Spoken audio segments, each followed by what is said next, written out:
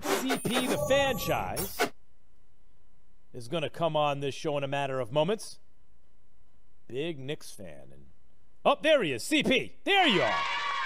How are you? Don't give me that Knicks stuff. Thank you. Ha- We're talking to LA right now, ha- CP. happy to be See, here. you should cut. Listen. God, well, it's always good to have you. Now, listen.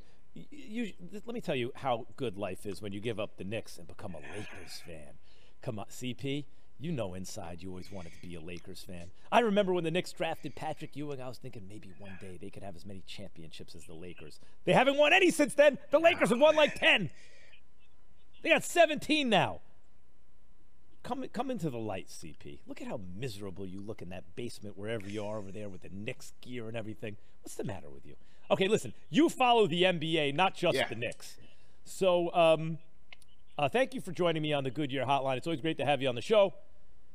Do you, you did you see DeMarcus Cousins? Is he the is he the Clippers' answer for AD or an answer for AD?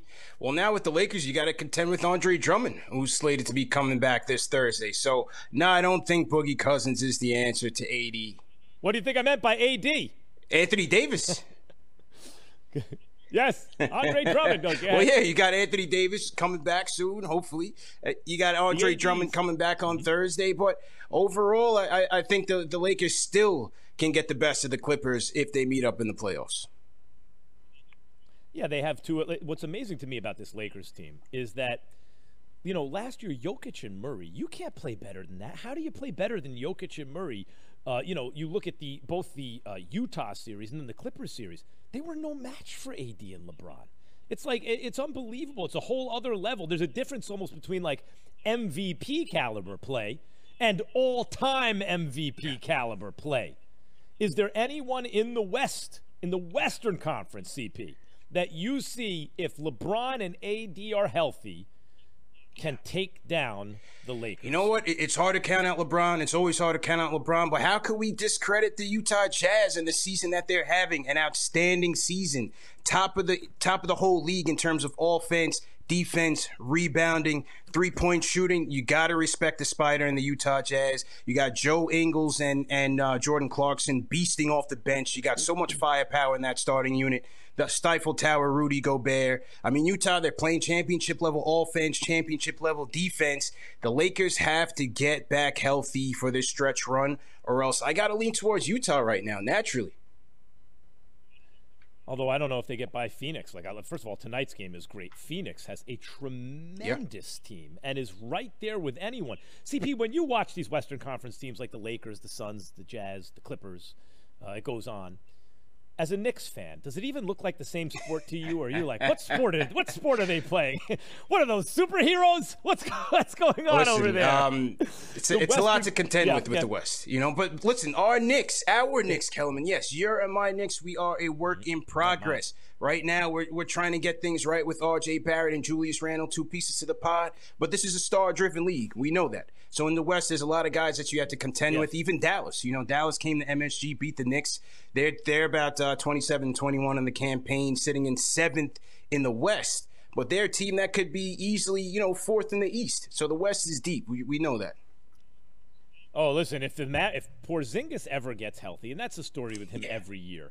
Every year he has to work to get back to where he was. But if he can ever get there and stay there for a minute, Dallas is going to be. A they should have beaten the Clippers in last year's playoffs had Porzingis not beat, gotten hurt. I thought they were the better team. So the 76ers now with Embiid back are coming for that one spot. But KD is coming back from Brook for, for Brooklyn, talking to CP, the Fanchise, CEO of Knicks Fan TV, but a basketball analyst, not just Knicks analyst. Um, CP, I think Embiid was the MVP at the time of the injury, but he's missed too much time to win the MVP at this point. KD coming back is a huge thing for the Nets, but they lose Harden, who I think is their most important player because he conducts the whole orchestra.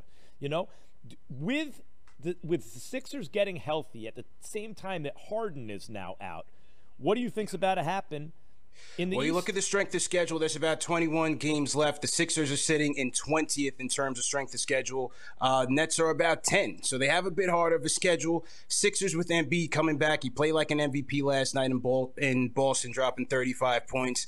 I like the Sixers where they are defensively, the way their starting five defends. I like their bench depth with Korkmaz and uh, Matisse Thybulle playing defense as well.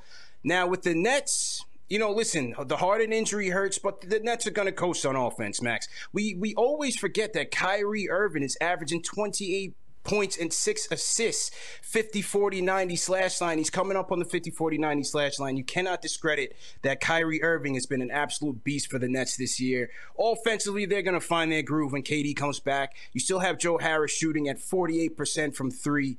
Um, so, you know, Harden's going to miss some time with the hamstring injury, but offensively, they won't have a problem gelling. It's going to be on the defensive end. They're currently ranked 25th in the league. We got to see how they get that together come playoff time.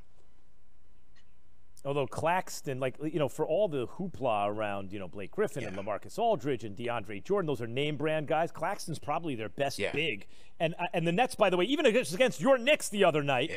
at halftime, it's like, boy, they don't play any defense. They started playing defense in the second half and won the game. This is what's interesting. You bring up Kyrie Irving. Kyrie's the most skillful player no doubt. on the team. Like he, there's nothing Harden can do that Kyrie can't do better. Handle, shoot, get to the, but and KD is the best player on the team. But what Kyrie lacks is Harden's wisdom. Yeah. Harden may, you know, maybe Kyrie's the most skilled, but Harden's understanding of the game, court vision, and decision making is the best on the team. He's been so impressive this year. You brought up Joe Harris. He's the best shooter yeah. on the team, on a team with with the with three greatest offensive players ever played together in the history of basketball. They're none of them are the best shooter on the team. In fact, CP, it's been my contention. If and when they get healthy, given how quickly they came together, how they played defense, even without KD. This will be the greatest offense in the history of American team sports. And I don't even think the Lakers can take them seven games if they're fully healthy. Where are you on the Nets? Oh, all this all this Nets talk. I got to big up the Nets on this show. You know what? Listen, you're right. You're absolutely right. This is an offensive juggernaut. You have three walking buckets that can get you buckets at any point in any game. And I think that's why, you know, even if their defense lacks a little bit, their offense is, is going to be too hard to stop. Milwaukee may give them a little bit of run for their money, depending on if they meet in the conference finals or not. But you know, if the Nets make it to the finals, I don't think this Laker team that's going to be looking to build chemistry kind of late in this season. I don't think they'll have enough firepower to contend with the Nets. I got to go Nets in six if they meet in the finals. CP, you have to broaden your horizons. You're a talented guy. You can obviously talk things other than the Knicks. What are you doing with Knicks fan TV? You're looking just for Listen. Dolan to kick you out of the garden one day? You might as well branch out and do other teams, like good teams, you know? You can cover all Listen, kinds of teams. I'm well, I'm well versed in the NBA, Max, but I'm, I'm all about the orange and yeah. blue. I'm true yeah. and true orange and blue. There's no room for bandwagon jumping and things of that nature. Sellouts. You know, you go to gold. LA, you go to Boston, you just I bounce it out. around, man. No loyalty right. from you, Max. No, Boston. Boston. I'm not going to Boston. I'm a decent person. I draw the line somewhere. Purple and gold, brother. The great CP, the Fanchise, ladies and gentlemen. You check him out. CEO of yeah. Knicks Fan TV. Thanks, CP.